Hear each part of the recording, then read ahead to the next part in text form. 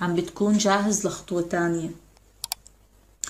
خطوة جديدة بحياتك مرحلة تانية يمكن من تطوير مهاراتك لشي معين تقدم بشغلك آه، عم بتورجي إنجازاتك آه، عم بتكون جاهز لتحدي جديد ممكن لتثبت حالك. هذا الشخص ممكن يعني للبعض صديق أو علاقة صداقة جديدة مفيدة لإلك. يعني طبعا هذا الكلام للبعض. إذا كان موضوع الإشي الجديد أو إنك عم بتورجي شغلك أو عم تظهر إنجازاتك مش منطقي بالنسبة لكم بالذات اللي ما بيشتغلوا فممكن يكون هذا الشخص صديق آه، بحياتك عم بفيدك بخبر أو معلومة مهمة بالنسبة لك أو عم بيساعدك. كأنك عم تنتقل من حالة الارتباك والبطء في نمط حياتك لحالة انشغال. يعني في عندي هون آه، كروت الأبراج الترابية كروت العمل. آه، عم تنتقل ممكن من حالة الكسل لحالة الحماس. في إشارة إنك رح تحصل على إشي كان بدك إياه ببداية الشهر. على الأغلب إشي مادي أو عملي. ممكن لدعم لمساعدة لأموال. آه، مساعدة من أحد الأشخاص ممكن. أو ممكن تكون مستقل بعملك تفتح مشروعك الخاص ممكن أو تبدأ بداية عملية جديدة. في ناس بتخاف بتكون خايفة. عم بتحس حالك هيك ممكن البعض يكون عنده أرق قلق حزن. بدك أجوبة لأسئلة محتار. كمان بشير ل هذا الكرت بشير ل ممكن للبعض لنسبة قليلة لمشاكل صحية. الأرق واحدة من المشاكل الصحية أو الصداع. يعني إشي بسبب نفسية مشاكل صحية بسبب تعب نفسي. فبدكم تديروا بالكم بدكم ما تكونوا حساسين زيادة عن اللزوم. يعني أنت عم بتحس هيك على الرغم من إنك الشخص اللي هون المستقر الذكي اللي اللي عنده قدرة وطموح عالية. بس هون المشكلة بهذا الكرت زي ما حكيت بمشاعرك الحساسية الزيادة مرات بتعلق عند هذا الشيء مع إنه انتهى وخلص. بس معقول عند البعض منكم عم بحس إنه ممكن يكون هذا الشخص بالعمل أو بعلاقة عاطفية أو بحياتك الاجتماعية شخص عم بيستغلك مركز عليك. يعني في علاقة قاسية بينك وبينه. ممكن يكون أحد أفراد العيلة. شخص أكبر منك بالسن ممكن. يعني خلافه معك بخصوص إنه عم بيتحكم فيك أحيانا. البعض ممكن بخصوص وجهة نظر أو رأي بشيء بعني لك أنت بخصك أنت. يعني هو بيعتبرك الشخص اللي مش واضح هون. بده يعرف سرك أحيانا بده يسيطر عليك أكثر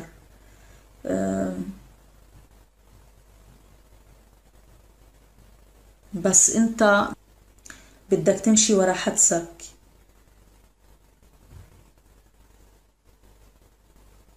بس انت شوي شوي يعني وضعك نفسيا ومعنويا. يعني هون التحسن المادي وهون معنويا عم بتكون أفضل. عم بيكون عندك ذكاء عم يعني عم تملك العلاقات التقدير الذكاء المادة أو بمعنى أدق يعني إذا بدي أختصر مش ناقصك إشي. هذا الكرت آه، ممكن يظهر إنك عم تتعامل مع شخص من برج الحوت كمان. هذا كرت برج الحوت آه، أو أي شخص من برج مائي. أمين على سرك ممكن. ما بعرف قديش منطقي هذا الكلام بالنسبة للبعض. هذا كرت الأبراج الهوائية عندي هون. إذا عم تتعامل مع جوزاء أو آه، دلو أو ميزان. كمان طاقة الأبراج كلها موجودة. على كل حال الأبراج احتمالات بس بحب أذكر شو طاقة الأبراج الموجودة عشان إذا بتحبوا تطابقوا بالنسبة للي بصير معكم. هلأ ممكن تكون عم بتفكر بسفر. البعض إذا مش منطقي إنه يسافر فبيكون أخذ قراره بانتظار نتيجة. يعني أنت هون عم تستنى. عم تستنى نتيجة إشي معين. عم تنتظر. احتمال. عم تنتظر زي ما حكيت سفر.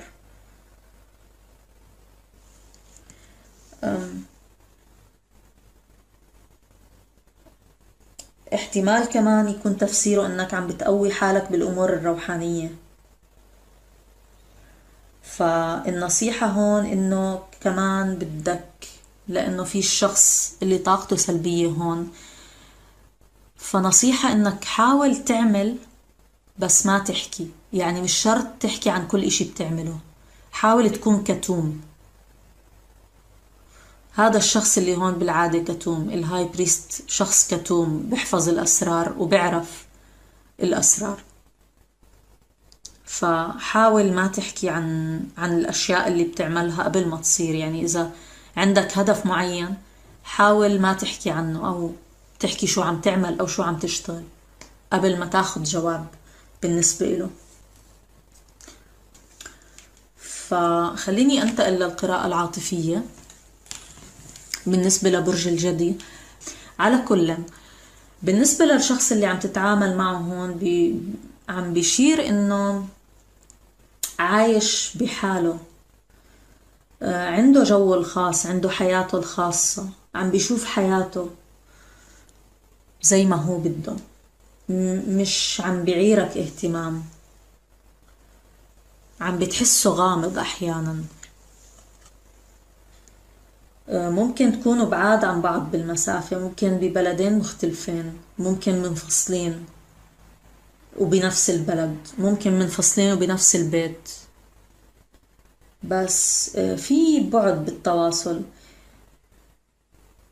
حتى للمتزوجين زي ما حكيت ممكن أحيانا انفصال بس بنفس البيت يعني أحيانا الأمور ممكن ترجع لطبيعتها بس زي ما بشير هذا الكرت عندي هون في شيء محير مخبى عم بتحاول تكتشف شو بي بي بعقل هذا الشخص بس بتحس إنه في غموض في إشي ما عم بحكي لك يا في إشي ما عم تعرفه مش عم بيكون واضح معك. معقول البعض يفكر بخيانة عند هذا الشخص؟ معقول في يكون شخص تاني أو أشخاص؟ لأنه هون يعني مش ثابت هذا الشخص. هون كمان مش ثابت. عم بتطلع على خيارات تانية بحياته. يعني ما في إشي واحد. ما عم بشير كروته ما عم بتشير لإلك أنت تحديدا.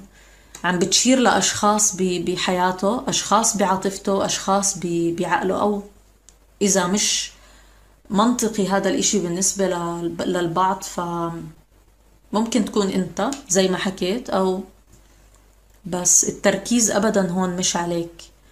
لو كنت عم بتعيش معه لو كان في تواصل بينكم هذا الشخص مش واضح أبدا معك. هلأ حسب كروتك هون كمان. إذا بدي أحكي عن موضوع أشخاص تانيين. عم بتحس حالك مخدوع أو حاسس إنه هذا الشخص استغلك. أو ممكن عم بتحس إنك ضيعت وقت بالعلاقة. بتصور في منكم كتير تعبان نفسيا وقلقان و يعني متوتر أو يعني ظهر بالقراءة العامة وهلأ ظهر. فزي ما حكيت السيوف بتشير للأفكار والقلق وكمان هي طاقة الأبراج الهوائية الجوزاء الميزان والدلي. وكأنه هذا الشخص تاركك بنص الطريق. هون. العلاقة بتحسها انتهت وما انتهت برغم سلبية أفكارك تجاهه. زي ما بالكرت هاد. بس أحيانا ممكن عم تتذكر وتتخيل قديش كان ممكن تكون العلاقة حلوة لو كملت. بس أنت حاليا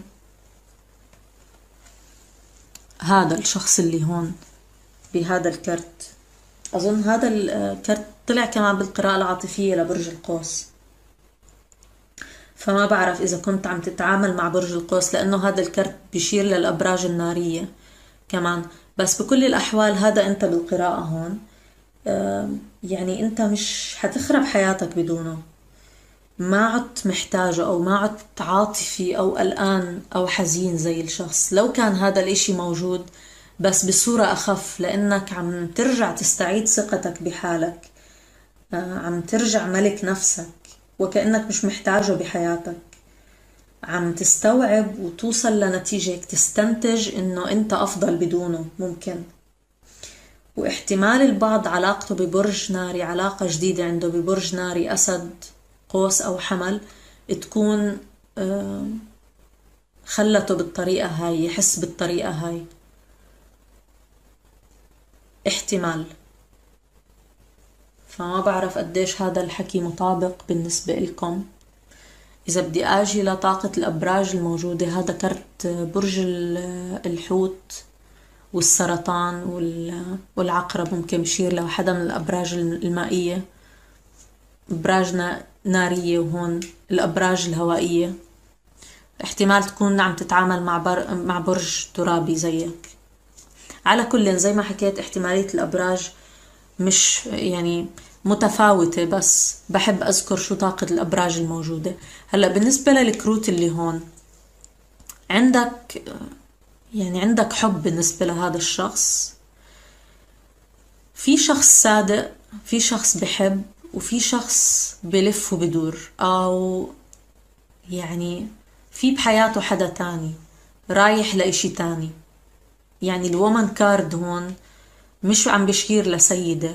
بقدر ما بشير يعني هون بالنسبة لهاي الكروت بيعطيك صفات السيدة اللي عم بتروح آه بتشوف أكتر من خيار بتشوف حياتها مش اللعوب زي ما بيحكوا يعني اللي مش ثابت على إشي الشخص اللي مش ثابت على إشي هذا الكرت اللي بشير له.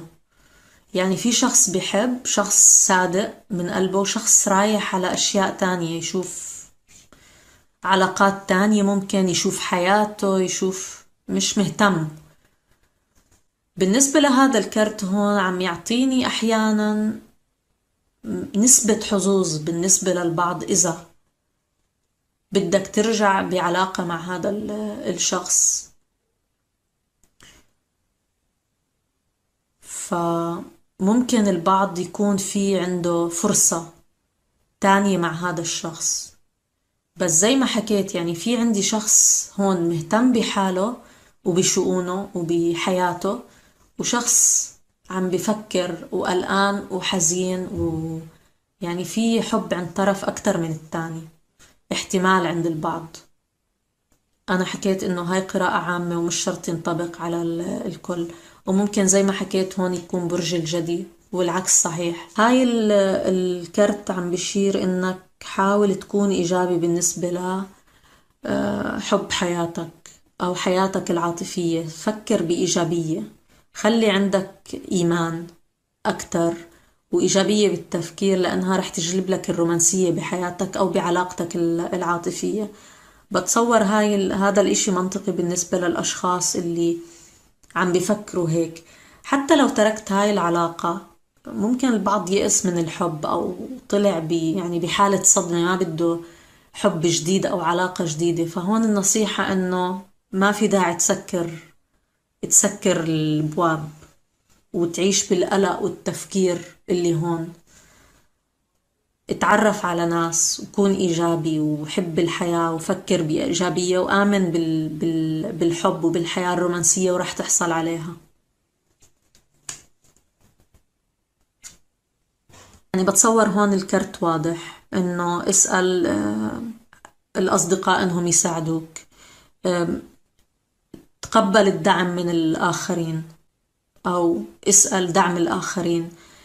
إذا بتحس حالك وحيد وعازل حالك طبعا عن الناس حاول تكون بين مجموعات حاول تنشط حياتك الاجتماعية تطلع مع أصحابك تطلع من هذا الجو اللي هون. لأنه طول ما أنت بهذا الجو حتى لو حاولت تكون إيجابي بس وجودك بين أشخاص بحبوك بين أصدقائك رح يساعدك أكتر.